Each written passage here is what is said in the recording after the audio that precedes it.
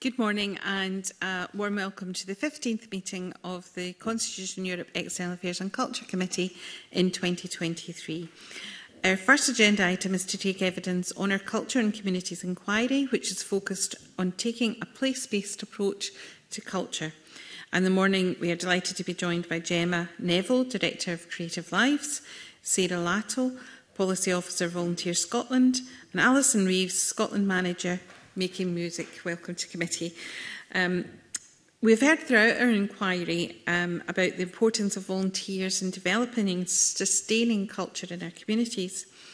Uh, particularly the submission from Creative Lives outlines the volunteer-led, locally based creative groups really represent the true backbone of culture in our communities in Scotland and yet it's one of the most overlooked parts of our cultural landscape. So how do the panel think the contribution of volunteers is developing culture in communities and how could this be better supported? And since I've quoted, perhaps Ms Neville, you would go um, first. Thanks. Thank you. Thank you. Um, firstly, just to welcome that we're having this conversation as you say, it can be an overlooked part of the cultural ecosystem, so it's really welcome that the committee's having this inquiry. So I'm here representing Creative Lives, formerly known as Voluntary Arts, and Creative Lives been a, uh, a, a charity working to champion all different types of volunteer community-led creative practice for over 30 years and across five nations, the UK and Republic of Ireland. So I bring that comparative context as well. It's my belief that everyone is creative given the opportunity and self-confidence. So what we want to do at Creative Lives, and hopefully this is helpful to our conversation, is to address some of the systemic inequalities that can prevent us realising our full creative potential and to be a voice for, for positive change. I think we're going to come to look at some of the, the evidence that's emerging about trends in, in active participation It might be of use to just clarify what I mean by volunteering as well, distinct from participation. So if we take an example like a choir, which uh, choirs are found in, in every community, um, and, and by community I mean place and, and creative practice, and and the people that are turning up to sing for the joy of singing, often from professional or community or amateur backgrounds, they're doing so in a participatory sense. The volunteers are the ones that are setting up, running, keeping going the choir, um, and they may also bring in paid support for, um, for, for tutoring and for recording and so on. So I hope that example sort of helps distinguish because we run into muddy water if we start to have a sort of false dichotomy with professional amateur community arts. These things are all inter, interrelated. You asked about what sort of the, this is for, for good connectivity. Uh, I think it's about civic space, a really reimagining of what the civic realm, the Creative Commons can be. So, so really utilising existing venues, but also our civic spaces, parks, cafes, pubs, as well as libraries and the school estate and, and so on. It's about active agency, involvement, Um, I can give you examples from all of your constituencies of, of the many voluntary arts groups that are, that are there. You might not be fully aware of, of, of all of them because a lot of this is un, unseen or un, unheard. And given proper agency, a community planning level and a, a, a participatory democracy level, they have potential to add so much value, socio-economic as well as, as, as, as the human value of, of um, feeling good about ourselves and, and, and, and, and connecting to one another. And finally, I'd mention sustainability. So you've, you've heard um, very persuasive evidence from academics and culture practitioners before the session today about the value of um, in-depth quality interventions my interest is in what happens before and after those sorts of interventions. So how do we ensure sustainable creative cultural ecology? Um, and, and that's really about ensuring the right enabling conditions are there for which central and local governments, as well as third sector, have a role to play. Um, very much creating pathways between different opportunities and making sure that access is affordable and, and available and different parts of, of the public realm all link up. So we can come to examples later on. That's helpful, but I hope that sets a bit of the scene as a starter.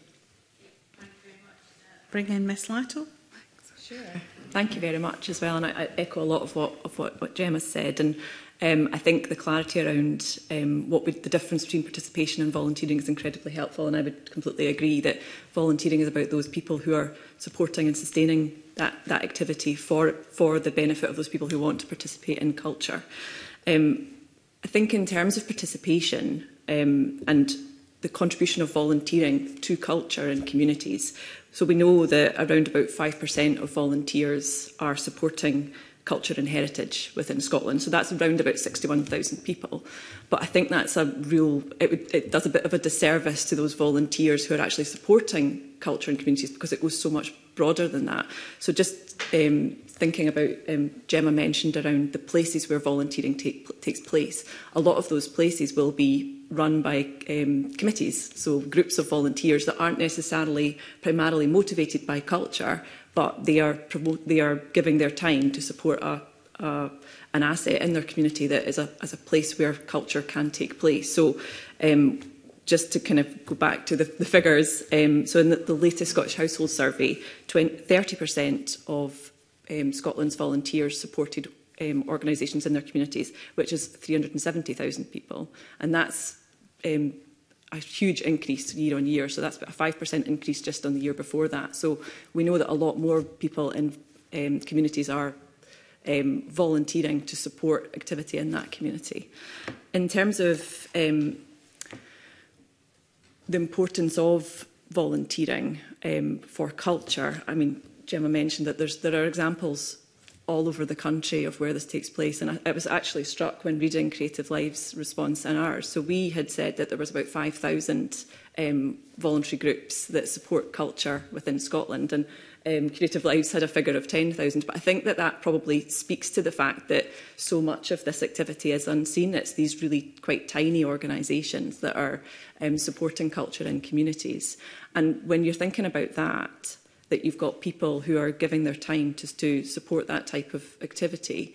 Um, what we are really struck with at the moment um, in Volunteer Scotland is the impact of the pandemic and then, then subsequently going straight into the cost of living crisis. That's having a, an enormous impact on um, the voluntary sector, but particularly those really tiny organisations that are, are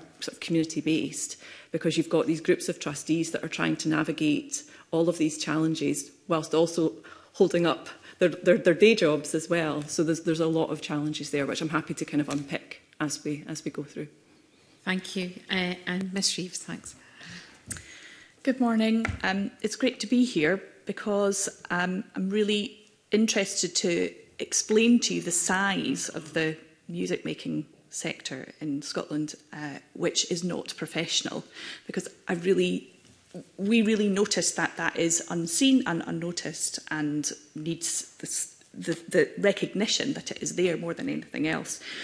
So Making Music is a membership association, so we only have an understanding of our own membership um, with statistics. Uh, we have 255 groups in membership in Scotland, which is about 14,000 people participating in groups. Our groups tend to be larger than some of the ones that um, we were just mentioning there. Their average membership is about is 55. They are orchestras, more formal choirs like choral societies, but also community choirs. Um, they could be a ukulele band or a samba band as well. And uh, they are all constituted organisations, and a lot of them are charities. And all of them are run by volunteers um, as a committee. Some of them have paid admin staff, but very few. And about 80% of them would employ a professional music director or music leader. But the rest of the people who are organising that activity are doing that on a voluntary basis. And they are selling tickets at the doors and they are providing a safe space for the vulnerable people who need those extra support in their groups as well. So they're doing all, all that work to provide this, this massive sector. there's about a th over 50 orchestras that are in our membership in Scotland. And if you compare that to the number of professional orchestras, that's significantly more. And they're performing uh, three or four times a week, uh, a year in their local communities. So they are the way that many people in our communities are experiencing music and classical music in particular. So um, the the benefit that those volunteers are bringing to their communities is is huge. And as I've said, we are only representing uh, a part of the sector. We don't uh, have pipe bands in our membership, for example, or concert bands. Um, and there's a so there's another huge amount of that activity going on, um, which is hugely valuable. Um, it's reliant on an existing infrastructure that is challenged, that is very delicate. It doesn't require a lot of funding to keep them running. In fact, only about 5% of our members' income ever comes from funding, any type of funding, local authority, Creative Scotland. It's almost all from membership subscriptions and ticket sales and CD sales. Um, but they need their venues to be affordable, they need them to be um, accessible, and they need to be able to get to their venues. And that's the delicate infrastructure that we're most concerned about at the moment, and that will uh, be eroded if we don't take care.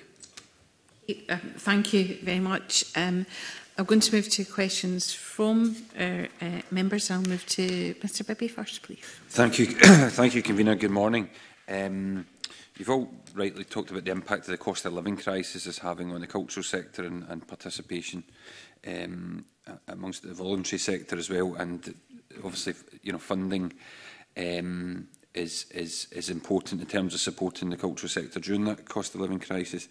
Um, in some of the submissions, we've mentioned, uh, the, mentioned the, the need for greater revenue support, but obviously I've just heard um, Ms Reeves there talking about the, the level of funding that there is and the, the need to invest in facilities and make facilities affordable and accessible.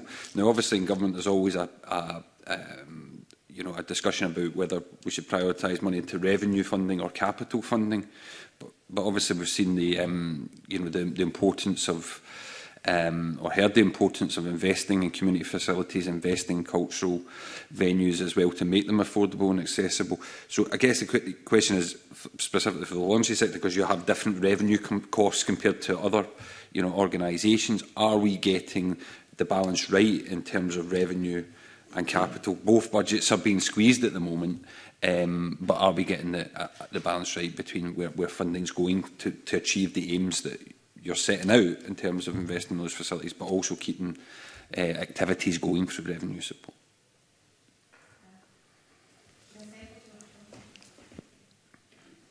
Thanks. So I understand why there's eh, the, the, the, the scrutiny of, of funding. I think it can overdominate unhelpfully, actually, because it's a truism that lots of volunteer-led creative groups are largely self-sustaining. They're not dependent on, on, on funding, but what they do need is these enabling conditions.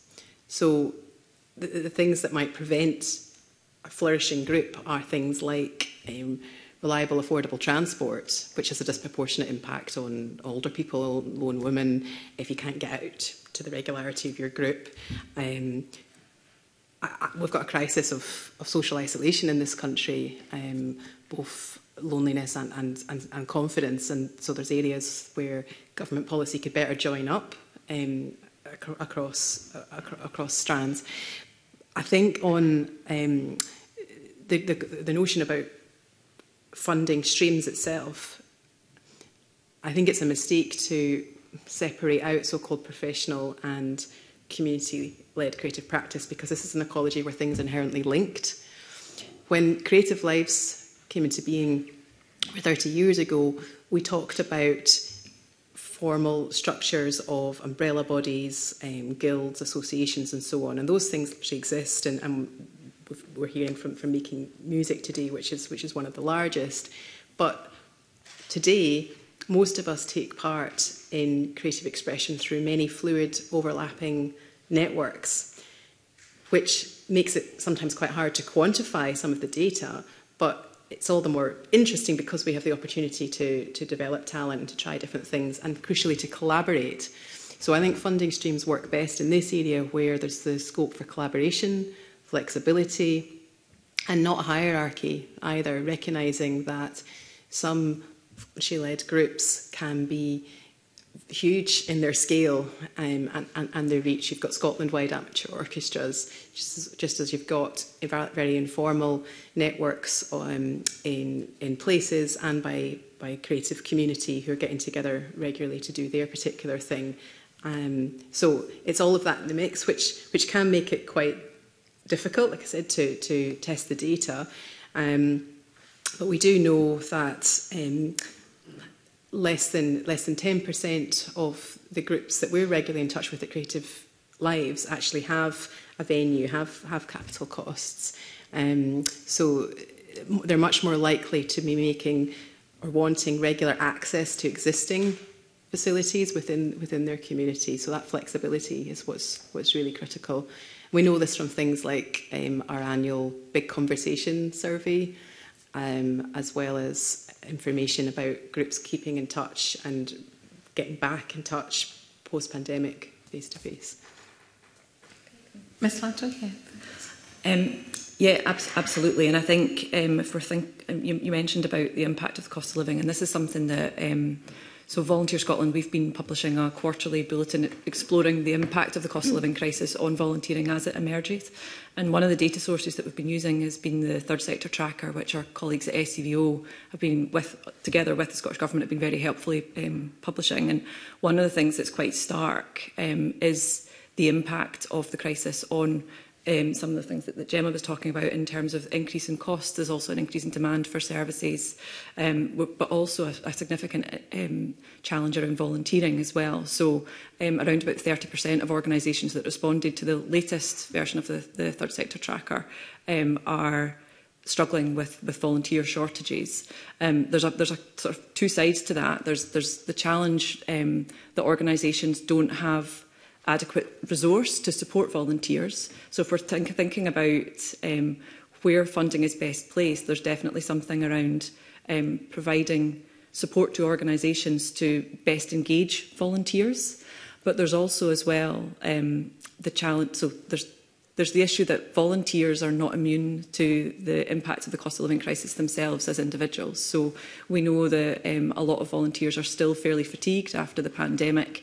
Um, there is potentially a bit of a sense of, of apathy about um, this sort of living in a bit of a perma-crisis and feeling, well, what, what, what can my volunteering do to, to change things? Um, I was struck when I was reading some of the other responses um, that um, Craignish Hall, they, they'd, they'd responded and said that um, one of the things that they've been trying to do to um, keep culture accessible to people is that a third of their events that they provide are free, but they're struggling to do that because they, they don't have the resource to, to keep doing that. And I think that speaks to another potential issue that, um, if we're talking about funding, is really important to consider, is around um, equality of access to culture.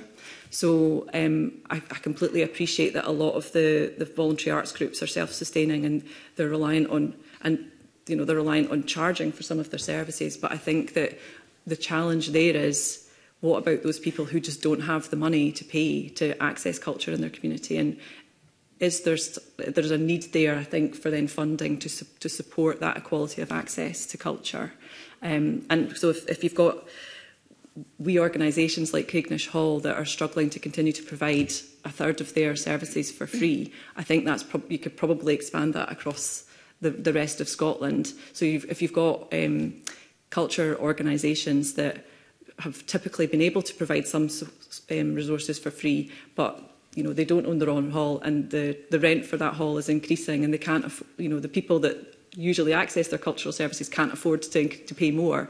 There's a bit of a catch-22 there, and I think there's a, that's where I think funding is most needed at the moment.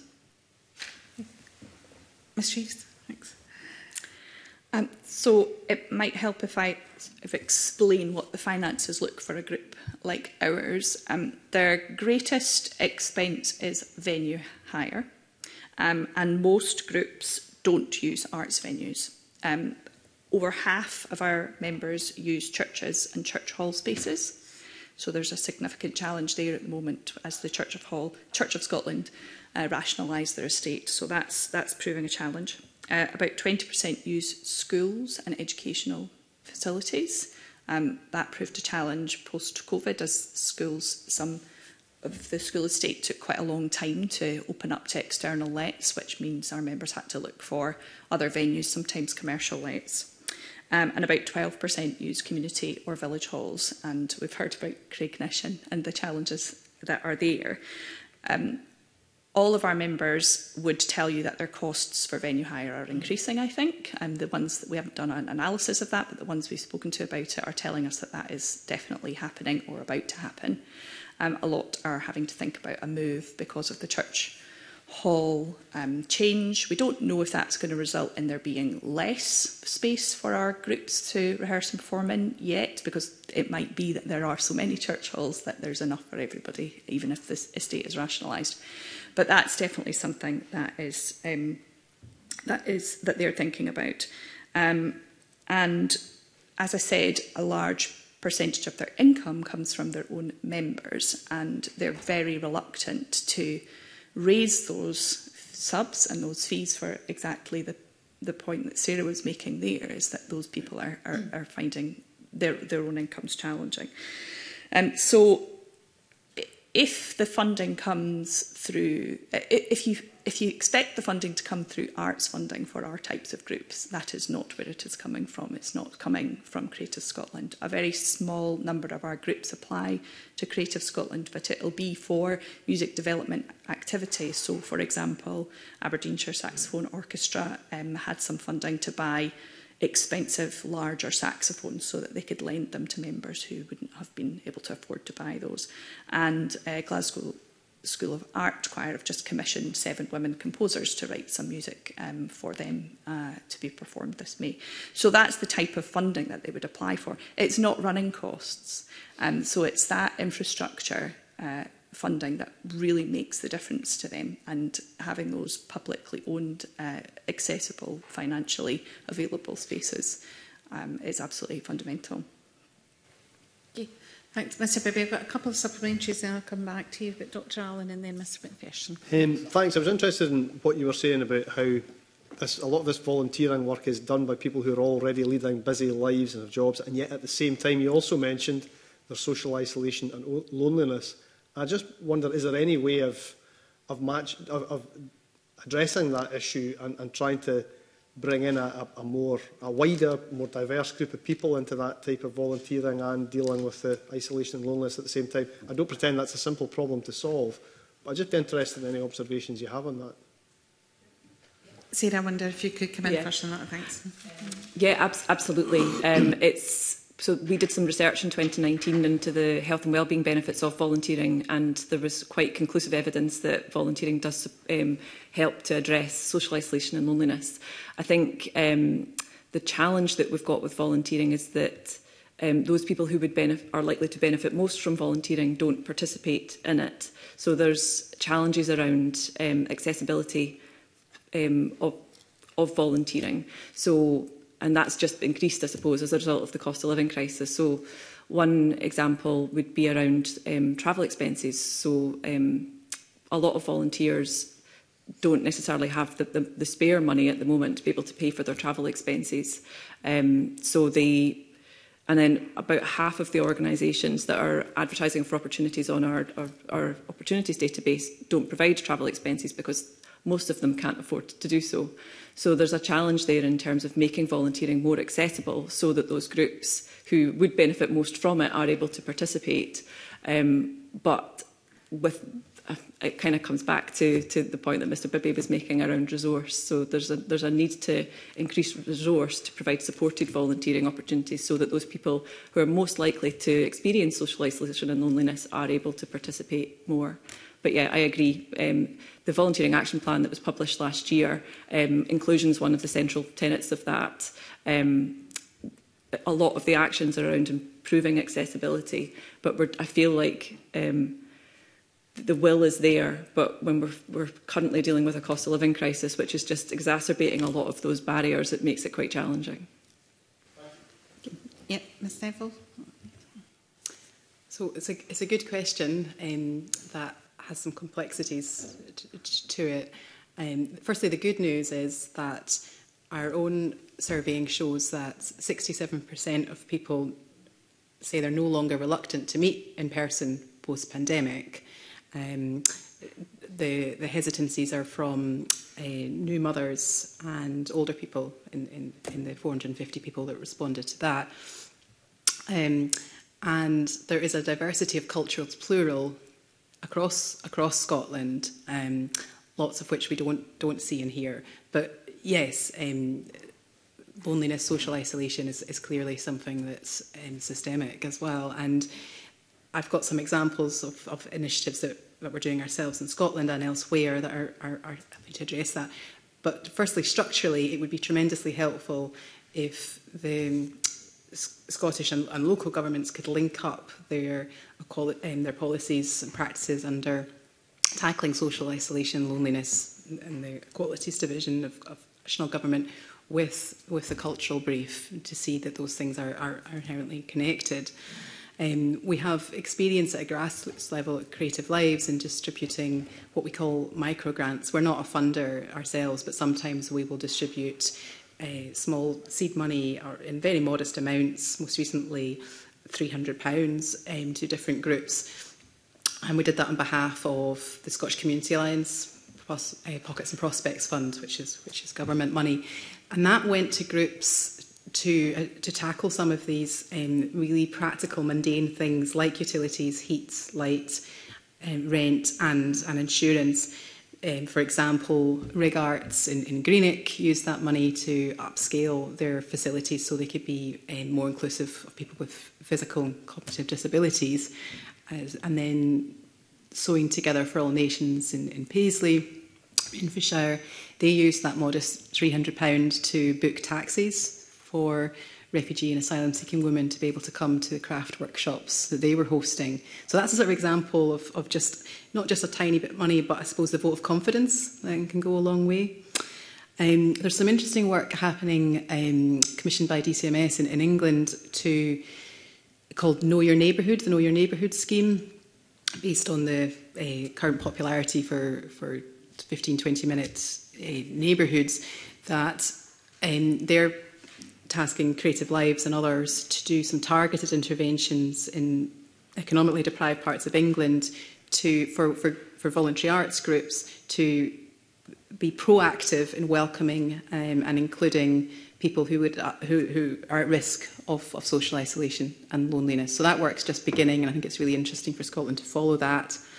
We've also been partnering with um, a campaign called Pub as a Hub and the campaign for Real Ale uh, this is again in, in England, to reimagine pubs as creative spaces, um, both supporting that part of the economy and very much badging these as creative welcome spaces. Um, that particularly in the daytime, these are these are, are spaces um, in urban and rural settings that could be could be could be made use as a as a venue.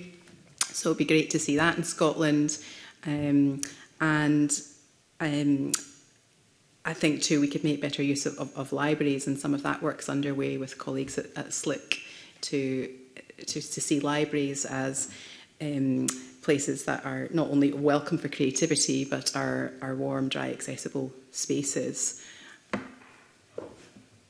Um, Mr McTish. Good morning to the panel. Um, thanks for being with us. I just wanted to uh, follow, follow up, um, Sarah Lato, on your first two answers. Um, In your first answer, you identified one particular organisation or community that had seen a 5% increase in their volunteering. Um, but then in your second answer, you talked about the challenges of the cost of living and the impact that that's had on hampering volunteering. And I just wondered if there were any examples, eh, if there were any specifics from the example that you gave in your first answer that would be worth um, considering as, as why that, that particular example has seen, a, eh, seen an increase. So it's um, not necessarily one organisation. So the 5% increases in the number of um, volunteers in Scotland who are supporting community-based activity. Um, so that was, it was quite un, un, unusual. So volunteer participation in Scotland has remained static um, at 20, about 26, 27%. Um, but we've seen a 5% increase in community-based volunteering, which is, which is really interesting. Um, it's we're playing, it's, it's quite difficult to, with given, so in terms of volunteer participation, we rely on the Scottish Household Survey results. So we've just received the results for 2021, um, which were incredibly interesting and are helping us to see um, how volunteering participation is, is changing um, as we come out of the pandemic. But we don't yet fully understand the impact of the cost of living crisis on volunteering um, because it's, we're not quite there yet with the, with the facts and figures. But we do have a, a, a kind of an idea based on the existing evidence that we've got um, that volunteers are um, so there's, there's for the reasons that I mentioned earlier on that there are sort of some struggles around recruiting new volunteers but also for volunteers themselves are struggling What's, it is interesting though that community-based volunteering has increased, which is kind of bucking the trend and, and bucking the, um, the sort of available evidence that we have around the impact of the cost of living crisis. Um, And I think that's probably a, a largely a result of the pandemic and people becoming more community focused, um, which, which is really important, I think, for um, when we're talking about um, cultural activity that's taking place in communities because there's a really strong likelihood that some of that 5% are in organisations that are focused on culture. Um, so I, th I think that that's definitely a sort of a, a bit of a kind of silver lining of, of the cloud of the cost of living crisis and the pandemic is that people have become more participative in their communities and they're, they're helping out a lot more. Um, so I don't know if that, if that helps, that answers your question. Th that was very helpful, thank you. Do you want to comment on questions? Yeah, I'm, I'm thinking in my head about the word volunteer. and um, I think a lot of the people that uh, we would count as volunteers in making music member groups – wouldn't count themselves as volunteers.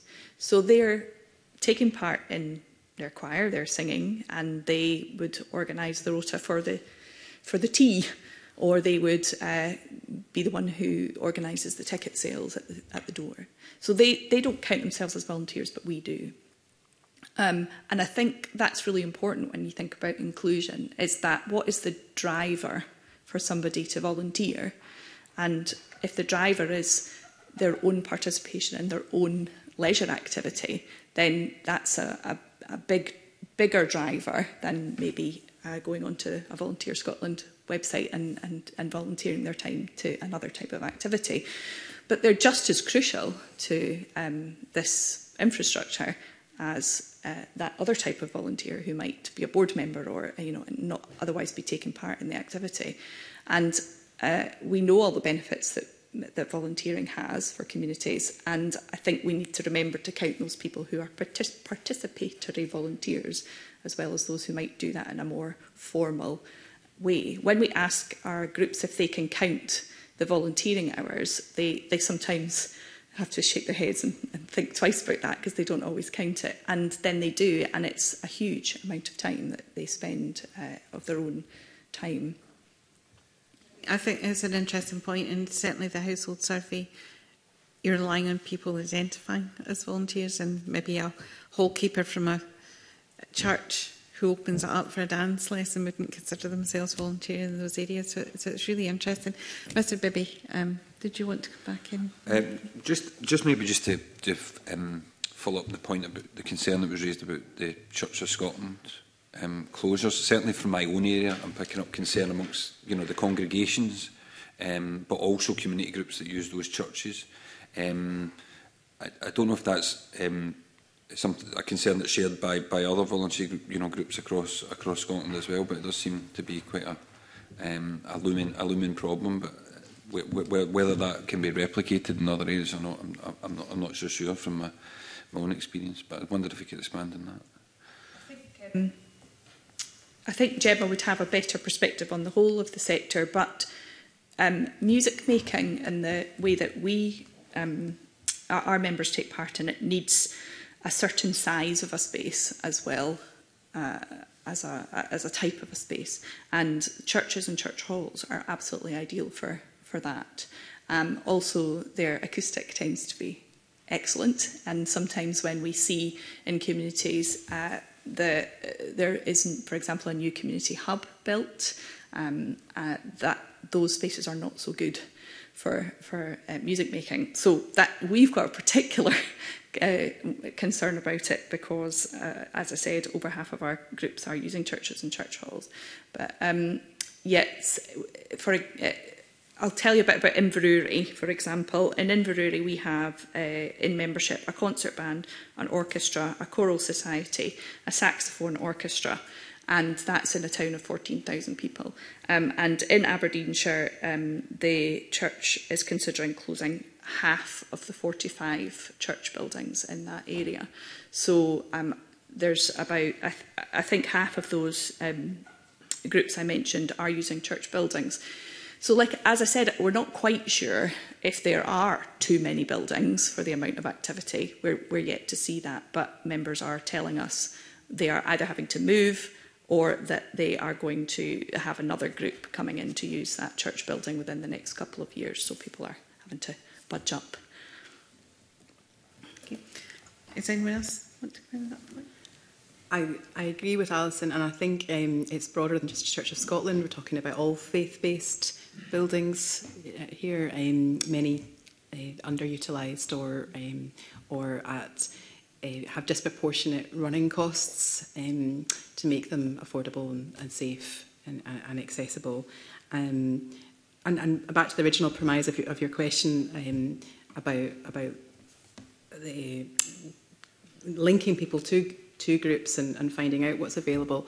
Um, volunteer arts groups are part of the the, the solution here as in that they mobilize a lot in their in the local communities, and we saw that a lot during during COVID. They um, they pivoted to becoming welcoming safe spaces that were offering uh, uh, that not just um, the value of creative expression, but the regularity of meetups is really important. Knowing that you can be somewhere and expected somewhere regularly is, is hugely beneficial all sorts of data shows that. Um, so we need to be normalising this in the same way that sport does. Um, and I think this point's been made by, by other witnesses to your committee. There's so much we could learn um, about how it, the infrastructure of voluntary community and professional sporting infrastructure um, links and could be replicated in many ways with, with culture. Um, where this is happening well is often in regeneration targets. We, you know, so I could quote you examples um, where there's been investment in in in in buildings like what we're talking about with um, faith-based buildings where it's been part of the regeneration process but it's not happening day to day because culture is not around the community planning table um, so that's something that needs to change. Interesting, yeah, thank you.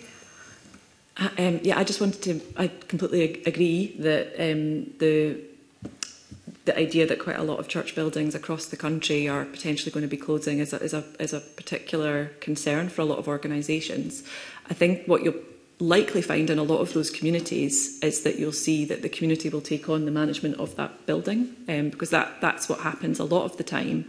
Um, we've got a, Um, we've got the commitment to community wealth building within the Scottish Government. We've got the review of the Community Empowerment Act.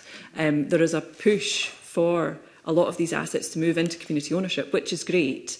Um, but what you then do find is that, and, and what, what a lot of um, volunteers that have been telling us in our consultation for the community wealth building um, consultation that we've just submitted to this week, is that they struggle with the capacity to take on that level of liability for an asset.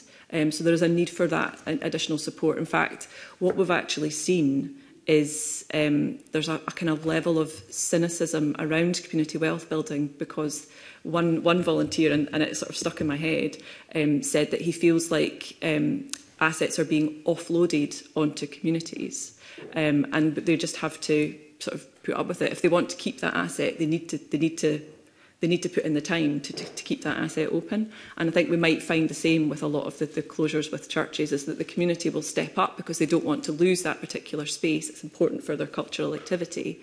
But they then, there's a kind of a question there around, is it voluntary if somebody feels they have to, to take it on for the benefit of the community?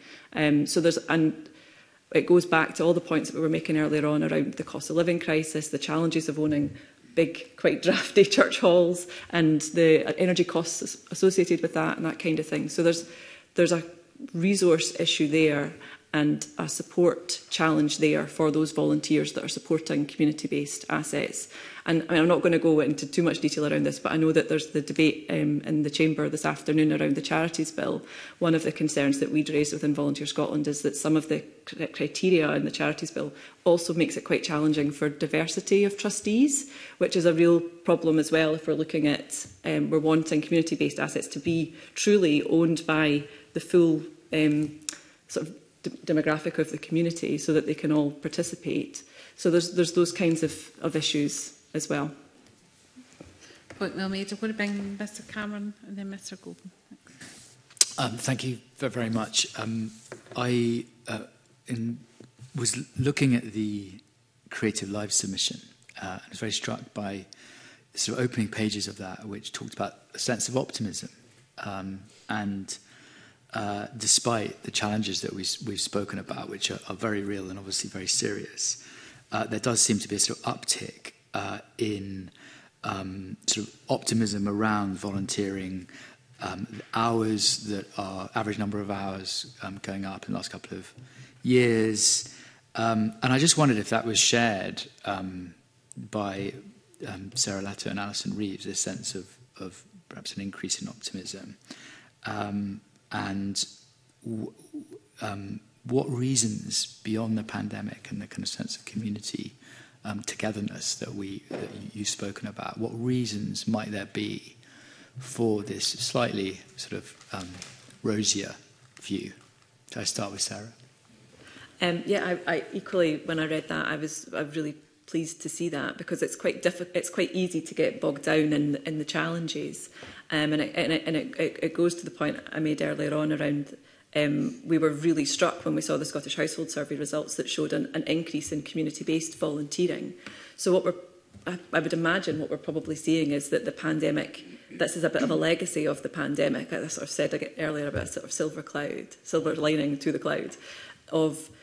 people feeling much more connected in their communities and, and um, because they spent so much time there during the pandemic.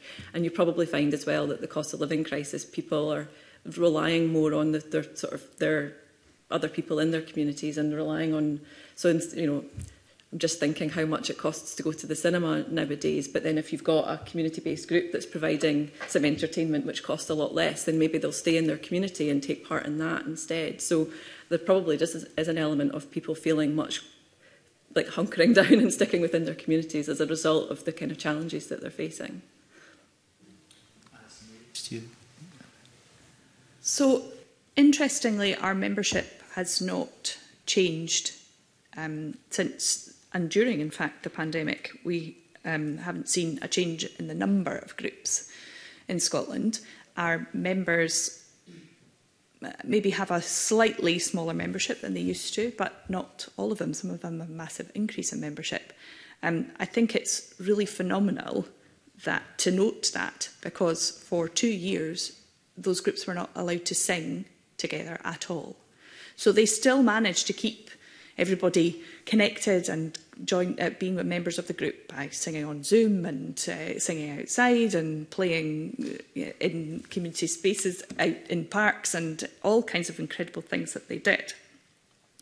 And that was so valued by the members of those groups and the people in their communities that that is what has kept them connected to those groups. And um, I think that the, that the understanding that it, it, was more than just being a member of a music group that kept them connected as well. So we saw groups uh, chapping on each other's doors, taking each other food, and um, there was a really excellent uh, BBC journalist uh, piece about a, um, a concert band, uh, sorry, brass band, I remember watching where the gentleman was crying because he missed his friends so much and they managed to stay connected. I think those things are hugely valuable to the people um, around those groups and that's what's kept them going. And uh, people want that now. And it is an inexpensive activity, as um, was said there. Groups will be charging in, you know, between two and six pounds a session um, for for that at the most if they're not free activities, which is considerably less than um, even going to the swimming pool now. And so those, it's an inexpensive and very, very loved uh, activity by the people in those communities. And yes, absolutely, don't see a drop away in that. Gemma Neville, do you want to add anything to your submission? So yes, our, our active participation creatively remains local generally. Um, so while we might travel into a city centre to attend a concert, if we're where we actually take part um, tends to be in a, in a, in a hyper local space, and, and that has built soft resilience skills in communities most recently. However, I'd add a, a note of caution to some of that optimism that we've, we've departed um, from. That I think there is some collective fatigue or, or burnout from people running groups. Um, that's, there's, there's an issue about an aging demographic. There's some skills development issues. Um, that's, there's a, there's remains a digital divide as well in, in, in Scotland. Um, and it can be tricky to find out what's available locally. So the Mental Health Foundation um, tells us that, that, that last year over three quarters of adults in Scotland reported being lonely at, at some point, and over half of them said that something that would have helped would have been finding out what was what was available to them locally um, in terms of uh, a regular a regular meetup, and yet it, it remains quite challenging sometimes to find out what, what's there. What we'd like to do at Creative Lives is to work with local authorities to address some of the capacity challenges they've currently got. So we know there's there's really been a decimation of, of local um, arts development officers in, in, local authorities, and we've got the, sp the spinning out into cultural trusts as well, which has its own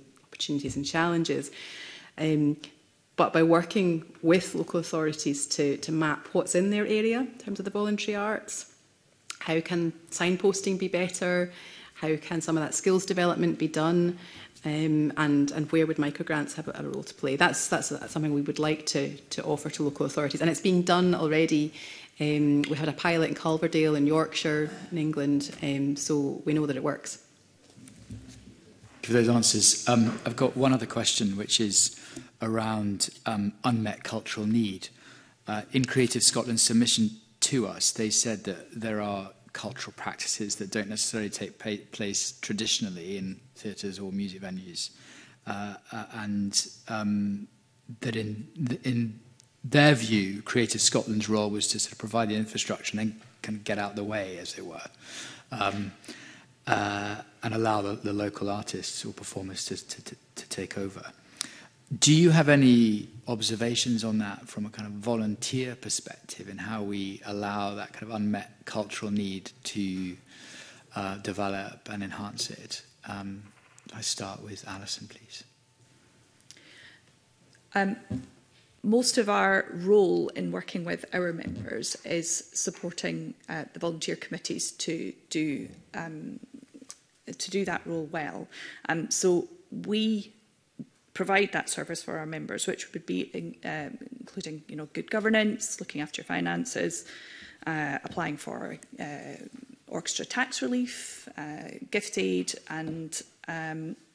the, the sort of infrastructure things that those committee members need to do.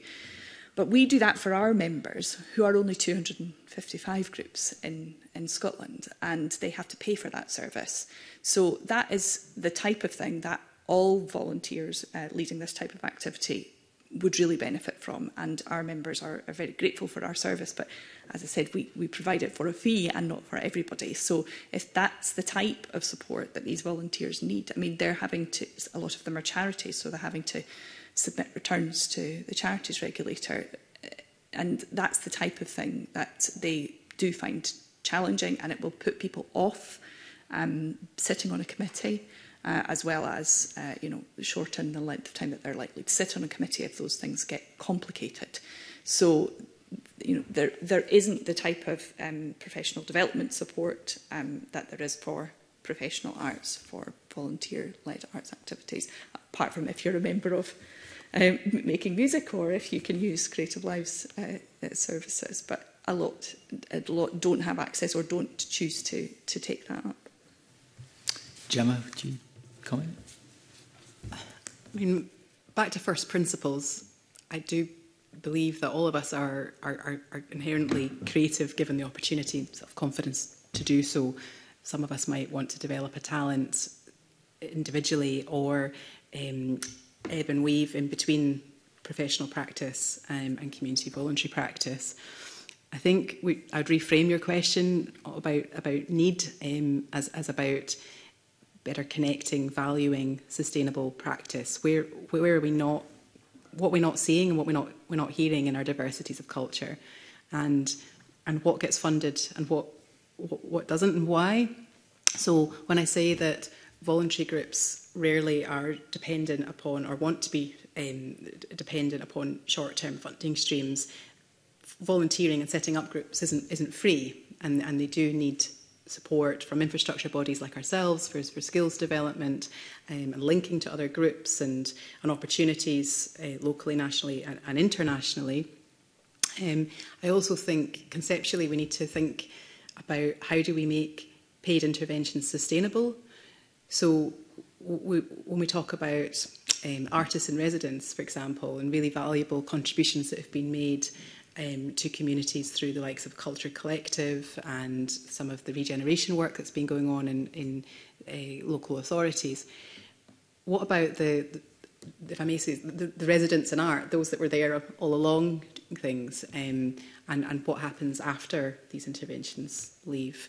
Um, and then also the, the various barriers, um, short and long term, that we've, we've discussed previously is all part of that um, need question that you're asking, I think. Sarah Latimer. Um, yeah, I, I completely agree. I mean, particularly, uh, Alison was talking there about capacity building um, for volunteers, particularly in those governance roles, I think is incredibly important. And there are, I mean, organisations are very fortunate that if, if, if they can get that from bodies like like yourselves. You've got your TSI network as well, which is incredibly important important in this in this space as well. Um, but it, it goes back to another point as I made earlier on around equality of of participation and equality of access for volunteering in, in these types of roles. So if we're thinking about the capacity to be in a governance role in particular, um, that can be quite challenging. It can be quite daunting for a lot of people. So there's there's something there about building the capacity of volunteers. So I was quite struck. Um, it was it was great to see that there was a, a page in the culture strategy um, around volunteering, which was was wonderful. Um, the, and I'm, I'm interested in their best practice guide for volunteering that's been promised within that and the fact that it'll be aligned with the volunteer charter as well because that's, um, Jim, a very um, rightly said that volunteering it's unpaid but it's not free and um, there is resources required to support volunteering and the volunteer charter sets out the principles for appropriate and sustainable volunteering um, but I think what's missing within that is around the build, building capacity and acknowledging that where you have volunteers, they're driven by their passion for that particular cultural activity more often than not. They're not necessarily driven by the fact that, well, I, I have those skills in my professional life and I'm going to bring those to this, this, this role. So there's something about joining those dots and helping people to um, do those things like their Oscar returns if they're a registered charity and that type of thing, which can be quite challenging. So I would, I would hope to see Creative Scotland taking on more of a role in terms of acknowledging the capacity that's required for volunteers to support commun community-based cultural activity. Thank you, Thank you Convener. Mr Goldman. Uh, thank you, Convener. Um, I'd like to ask about capacity to attract funding, particularly you know, writing comprehensive bids for smaller organisations could prove more challenging and also linked to that what different metrics are funding funders looking for and, and how does that land as well? Who would like to start? Alison. Um, I'm currently filling in a Creative Scotland um, application form for the Open Fund. It's the first time I've done it in the new portal system that they have uh, established, which technically is working brilliantly. Uh, it's really long and it's very complicated and they necessarily have to do that because they're accountable for that for that spend. Um, but I have to write 450 words on my risk management strategy. And that's, you, you can see the challenge for groups. They're, they're, that is a difficult thing to do. I've been filling in funding applications for my entire career. But if you are singing in a choir and you want to apply for a money for a commission, that's a, that's a big challenge. What you used to have was a local authority pot of arts funding and an arts officer that would help you apply for that. I actually filled in as well this week for my uh, school's parent council uh, application to the Community Grants Fund, and it was uh, two pages of A4 and free form. I could write what I liked. I think I wrote two sentences in one of the boxes, and we got £4,000. Um, was that easy, and the amount of work I'm having to put in for the Creative Scotland Fund is significantly more for the same amount of money. So Creative Scotland have been very clear with us that they um, would always accept uh, applications from uh, volunteer-led music groups and they would be treated exactly the same way as they would treat a professional application. And they really want those applications. But the fact is it's extremely difficult to make those applications. So it depends what the funder, it depends who the funder is. Um, but those quick, easy to access pots of money that local authorities used to hold are, in, in our experience, entirely gone. And so the micro grants that Creative Lives can offer, for example, are um, the types of funding that our groups would be much uh, better placed to apply for. Thanks. Gemma? Um, so Creative Lives isn't, isn't a funder, but we have distributed um, historically um, some, some funds and, and yes, some light touch, flexible um, funding can, can go a long way in, indeed. Um, we also have guidance um, on, on different, all different as developmental um, support for, for groups, but the most popular one at the moment is called Cash for Culture. Um, it's a, a researched uh, publication um, that Creative Scotland's helped us promote.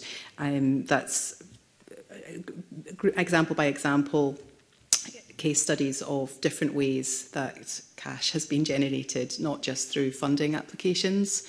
Um, so, so again, lots of collaborations, um, lots of reimagination about um, how income can be generated. Um, I think just back to principles, it's, it's it's, these things should be open access. So for a long time, I think um, so-called amateur groups had chips on their shoulder about being seen as hobbyists or somehow lesser artists. Um, and of course, some of the quality in volunteer-run groups is of extremely high quality and, and, and for some it's more about the participatory experiences, all of that and everything in between. Um, so it's really welcome that those those hierarchies have, have, have gone um, and we do now have open access. Because I think it'd be a mistake if we think about voluntary participation as always being small scale. Sometimes it's it's vast actually, um, you know, and it can be it can be national, it can be regional and, and hyper hyper local. There's all of that in the mix. Sarah. Um, yeah, I mean, uh, well, just just uh, just thinking you were saying there about um, the fact that it can be large. And one of the examples that we referenced in our um, response was Pittenby Marts Festival. So I'm, I'm from Fife and I've been to Pittenby Marts Festival and it is, it is a sight to behold. It is, it is a huge event and it is almost entirely run by volunteers. I think they have a part-time office manager sometimes, um, but most of it is led by volunteers. So you're quite right and that's one of the, the largest um, arts festivals in, in Scotland, if not the largest actually potentially. Um, so yeah, I think it, again it, it goes back to um, the sort of capacity building support. So we um, work quite closely with impact funding partners who I know that they dis distribute quite a lot of funding for the Scottish Government, including um, the Volunteering Support Fund. Um, and they host a uh, sort of regular networking events for people who have given funding um, for volunteering so that they can share best practice and that kind of thing. And I know that a lot of their um, recipients, funding recipients, find that incredibly beneficial. So there's, there's something there about funders being more um, open to and aware of some of the challenges that um, those that are accessing or trying to access funding might be experiencing and then providing more, putting more support in place at the point at when they're, they're applying. I think that would be incredibly useful to um, Mr. Ruskell. Sorry, Sarah, you mentioned earlier um, a TSI network. Can you explain what that is, please? Sure. Yeah, so the TSI network, that's the third sector interface network. Um, so every local authority has a third sector interface to support the local voluntary sector and volunteering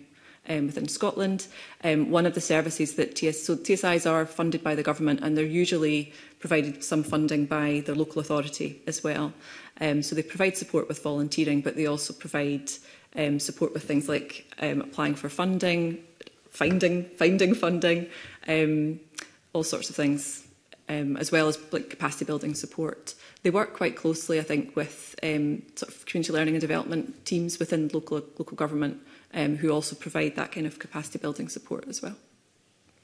Mr Driscoll. Yeah, thanks very much. Um, yeah, there's a, there's a couple of things that were mentioned this morning that I just wanted to sort of come back on. Um, One was about, I think, Gemma, you were talking about that we need to normalise the support for cultural organisations in the way that we do sport. Is that sort of pick that up correct?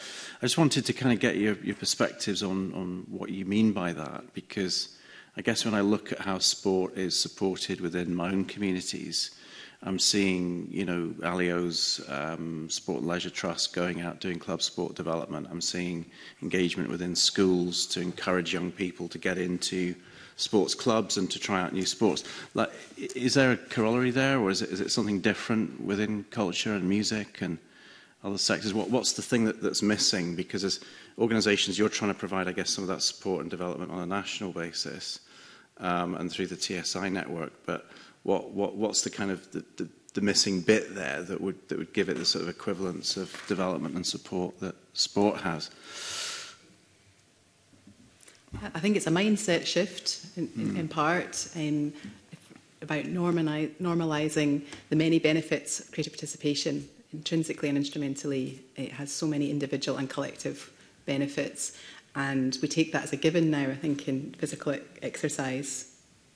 We, we, we've got a case to make in terms of creative participation.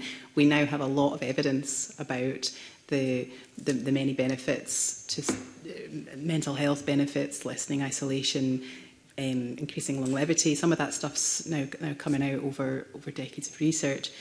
Um, it's also the comparative of sport I think is relevant when it comes to community planning um, because often that, there is a seat at the table for, for sport and, and not, not for art. And that goes to the heart of reimagining civic space, um, the school estate, green spaces, our parks, um, our, our high streets as well in, um, in cities and, and towns. Um, and I think it's also about um, opportunity. So, um, you know, sport and physical activity is integrated into our schooling experience. In many communities, the provision of, of for example, musical instruments is, is very limited and that has a knock-on effect in our lifelong participation. Um, also with further education and evening classes, all of that stuff provides opportunities and connections, pathways into the, into the voluntary arts and we lose that at our peril. Does anyone else want to comment on Yeah, I think an example might be um, we work with the Music Education Partnership Group and they are currently piloting a program called We Make Music Schools. And it's designed to be uh, like active schools, but for music. And so the school would um, get uh, work towards different levels of awards um, and uh, some of the activities that they could do to get their award would be um, providing instrumental tuition in the school for the children, but it could also be connecting with uh, music organisations who come into the school to deliver using YMI funding to run their own projects, but also connecting with community music activity. So if there was a pipe band in the area, having them come into the school and work with the children. So that's called We Make Music Schools, and uh, it's uh, being funded, I believe, by the government at the moment as a pilot. But that's kind of to give you um, an example of how in a school environment, you would, could make um, uh, build a program like active schools that would work uh, for music or, or arts as well.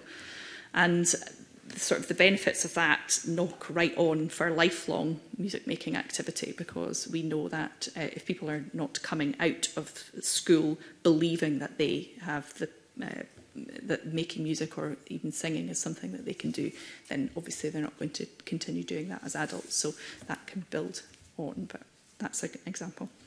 Do you want to comment, Sarah? Um, I mean, I've not got a huge amount to add, to be honest, but I think it's it sort of was struck when you were talking about active schools. I mean, active schools, the amount of volunteers that are support active schools is extraordinary. It's, it's, it's and it's um, so well embedded. And then I was reflecting on the fact that we had the situation with um, Sistema, who provide Big Noise. Um, so they um, lost their funding from a number of local authorities in, in earlier in the year, and were really, really it looked like some of their um, their sort of their, their music making um, projects were going to close their doors, and luckily the, the, the government were able to step in. So I think that when you're talking about a culture shift, it's recognising the importance of cultural activity particularly in deprived communities. It's, it's really important for them to be able to, to access those. Um, and you know, we're talking about um, I, I've got loads of evidence about the um, benefits of volunteering for, for well-being and what I've been really struck when preparing for this was that there's such a um, there's so much comparison that can be made in terms of the, the, the benefits of well-being between cultural activity and, and volunteering. Um, and one um, example that's sprung to mind that would be really, really nice to share. So I've been speaking recently with an organisation called Playlist for Life, which I don't know if you've heard of Playlist for Life, um, and they um, provide, they provide this, this lovely model which is about helping people with um, dementia diagnosis to develop their, their playlist, which is, and it's recognising the link between music and memory and the really vital importance of, of, of that. And it helps, it actually helps to um, bring people back to themselves um, for a short amount of time potentially and it can sort of slow the um, progression of, of things like dementia. So I think it's just recognising that right throughout life, the arts and culture have a really enormous impact on, on people. And it's about, as you're saying, Gemma, it's about normalising that to the extent that where in schools you get your E- every child gets PE, even if they don't take it. As I, I, I remember from when I was at school, that I didn't want to take PE, but I was still made to do it. Um, but with music and arts, that's not something that you have to you have to do, um, and I think that that's a real, it's a bit of a shame. Thanks. That was that was useful.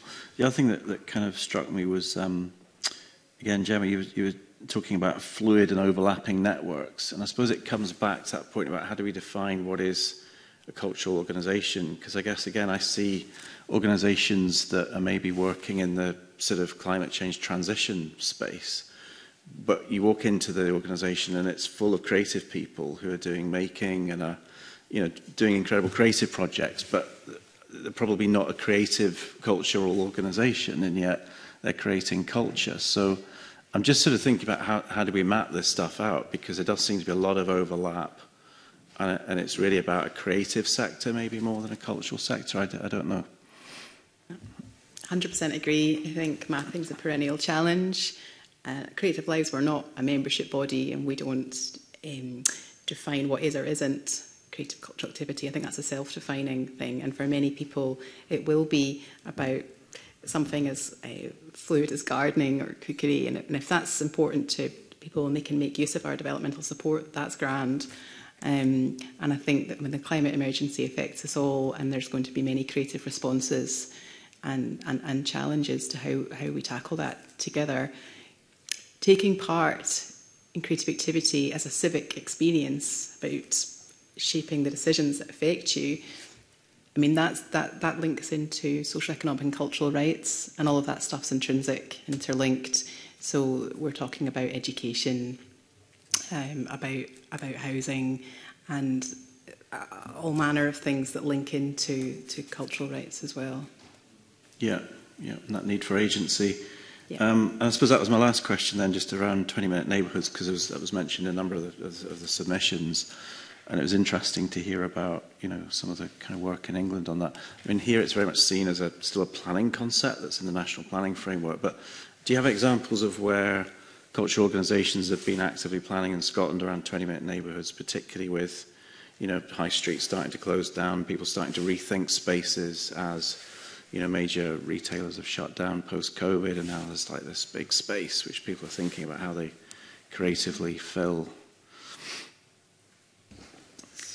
We actually we actually worked with Culture Counts on um, submitting to the National Planning Framework um, uh, redraft. So um, we were really pleased that actually culture, spaces for culture and creativity are in the national planning framework. So it is recognised in there that that is one of the things that makes a successful and healthy neighbourhood um, is having these spaces available. So I think it's important that that is in there and that we we all know that it's in there and uh, the concept of um, 15 20 minute neighbourhoods uh, is possibly less useful to some of the activity that we are, um, our members are taking part in because it's larger scale activity. But the idea that um, within a community there's an easy to access, large enough, appropriate space for um, our, not just music activity but dance activity or drama activity or performing arts activity um, needs to be understood more than just uh, you know what can happen on high streets, for example. It's an interest. I, there's um, I think it's a Japanese concept where there's um, the sort of 15 minute neighbourhood and then there's uh, the 45 uh, minute neighbourhood as well. So it's where do you where could you travel how, you know, where, where are those services that uh, are for a larger group of people situated? And I think that's important to recognise as well. So you can't obviously have a, a performance space for every community within 20 minutes walk, but you could have one uh, within you know, a, a 45 minute travel. And when uh, that's a real challenge at the moment when, um, for example, Howden Park, uh, um, Art Centre in Livingston is threatened with closure, and uh, we lost Falkirk Town Hall last year, which was really problematic. So it's not just about those small um, neighbourhoods, it's about those larger ones as well. There's also um, an issue, isn't there, about um, where where you live and how relevant 15, 20 minutes is. I mean, I live rurally now, um, and um, I, I, you know, I would be within fields, the beach, frankly, if I was looking at that radius. And I think for, for rural communities, um, to think much more about the, well, mentioned affordable and reliable transport earlier, didn't we? But um, the, the point here is, is, is joined up experiences to lead a meaningful life. So why can't your library card also get you onto the bus and access into the swimming pool and the theater Why are we not just connecting all of these things? I think it could be so much simpler than it is wherever you live in, in, in Scotland. In terms of examples, um, a couple that spring to mind are the work that's been done on Dumfries, Dum, in Dumfries and the historic High Street, um, Steeple Quarter there, and the Stove Network have, have been really instrumental in galvanising the local communities, plural there. Also, uh, Devon Arts in, in Huntley, so they have this brand, The Town is the Venue, Um, so I would encourage you to, to look at those examples of, of really... Um, She'd ever announced um, previously, but yeah. Mm -hmm. Excellent. Yeah. I, yeah, that, mm. I could I, I could tell you other examples that are, yeah. are similar again, I would say. But, Great. Yeah. Okay, thanks so much. Um, I wonder if I could um, pick up on another area that's come up frequently in our evidence session around the idea of social prescribing. Um, do you see that in action at the moment? Do you think there's opportunities and more that could be done in those areas? Um, Alison, do you want to come in? So we definitely see opportunities. We have um, a lot of resources and support for our members who want to start thinking about it.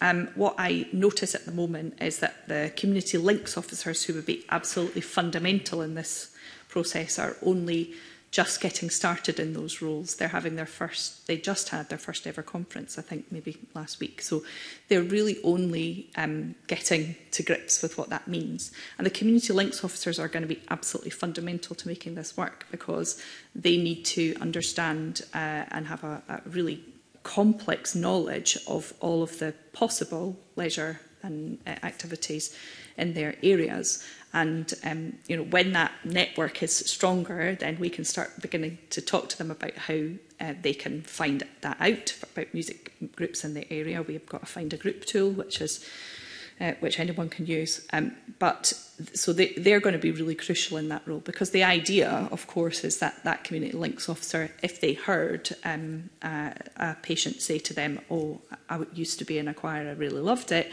could then simply point them to our services um, to our groups. We don't think that we would need um, additional support to, to uh, welcome most of the people that would come through to our groups from social prescribing.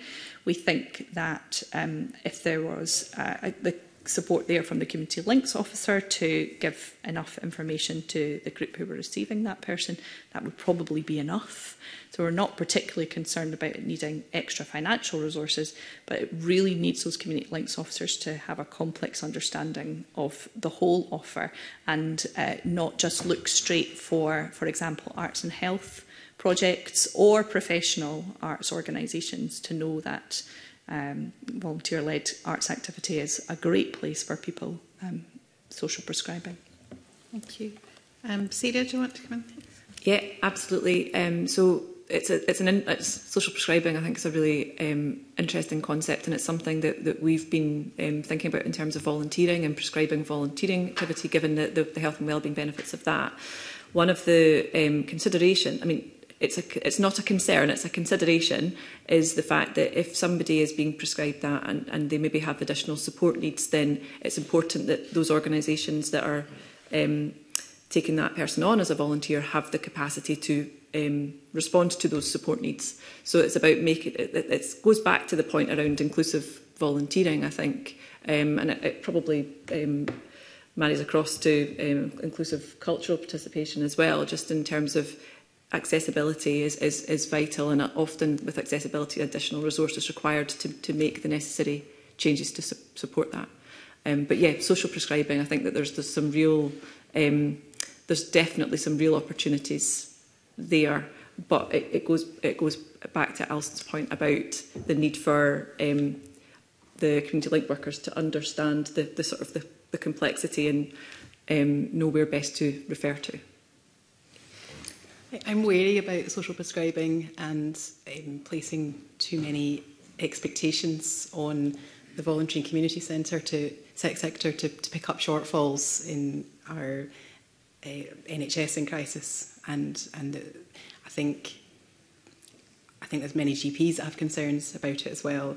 There are good examples of where it works, but there does need to be proper hosting support for, for groups, and, and not to see creative cultural groups um, as uh, the, the providing somehow a, a quick fix um, because I think that's a um, misunderstanding the very nature of, of, of, of these, these groups. Your, your peers at the All Parliamentary Party Group on Arts, Cultural Health um, and, and Wellbeing at Westminster, they've done um, some work in, in collecting information about um, the many the many benefits of, of taking part in creative cultural activity, but also where social prescribing isn't, isn't working.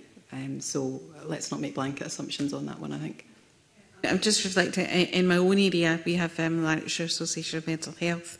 So the one venue that is open, free to access, crafting, music lessons, art classes, you know, knitting, all these things is is is around the mental health um, cafe and um, the premises that they have taken on, which is an old cinema in our area. Um, but um, so so it's it's interesting to to see um, maybe how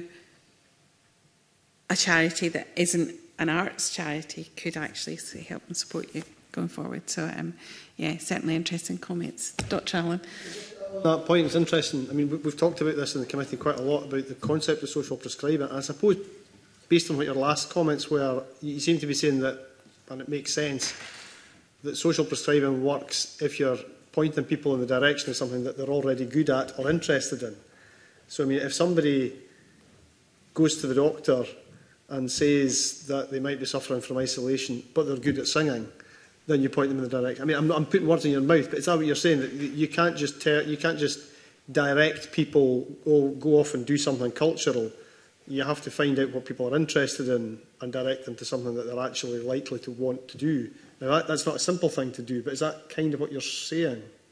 Yes, and the places in which that conversation happens are really important because I don't think any of us like to be sort of uh, given labels in a, you know in a, in a, a sense and told oh you need to have art done to you or this will you know this make you better i'm oversimplifying for for effect um as as much as it's not the job of of voluntary arts groups to be picking up these shortfalls um better signposting could happen and uh that's part of the mapping shortfall that exists at the moment in terms of finding out what's available um, and support to groups to be more welcoming and inclusive because often by the very nature it's a group of like-minded people who want to share their particular passion um, and they need to attract new members but don't always know how to go about doing so. Any further questions? our members. Um, can I thank you all, um, both for your contributions today, which were very helpful to the inquiry, but also your written submissions, which um, you know were, were well received by all the members of the committee. Um, so thank you once again. Um, we've still got quite a few evidence sessions going in this inquiry, um, and I'm sure um, we'll be having some reflections when our report comes out. So hope you'll be able to take part in that, that launch when it happens. So thank you again this morning. And we now move into private session uh, with the committee. Thank you.